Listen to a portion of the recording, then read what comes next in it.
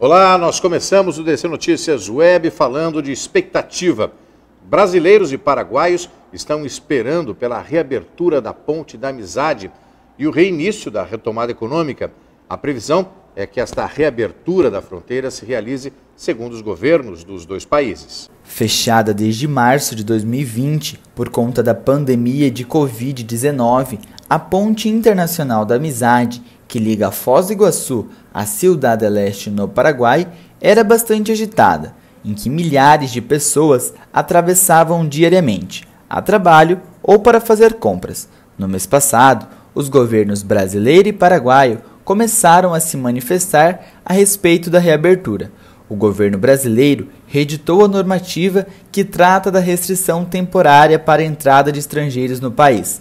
A Portaria 456, publicada pelo Diário Oficial da União no último dia 24 de setembro, autoriza a circulação na Ponte Internacional da Amizade para moradores de cidades gêmeas, como é o caso de Foz do Iguaçu e Ciudad del Este, onde ambas contam com um grande potencial de integração econômica e cultural. Para a efetivação dessa medida, é necessário que haja reciprocidade de ambos os países, ou seja, que brasileiros e paraguaios tenham o mesmo direito de atravessar para o país vizinho.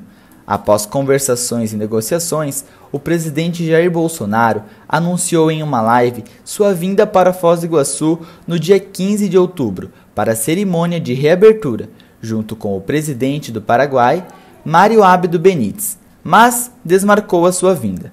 O governo paraguaio confirmou nesta quarta-feira a reabertura da ponte para a próxima quinta-feira, dia 15 de outubro, seguindo diversos protocolos de segurança sanitária, com funcionamento das 5 da manhã às 2 da tarde. Quem aguarda ansiosamente a reabertura são os lojistas da região da Vila Portes, que estão com a esperança pela melhora no comércio da região. Pessoal vai vir, vai aproveitar o preço dos produtos que é, é mais barato do que no Paraguai, dependendo do ramo de atividade, né?